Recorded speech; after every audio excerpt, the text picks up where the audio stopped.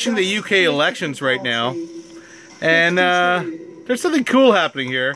Smith. See Bobby.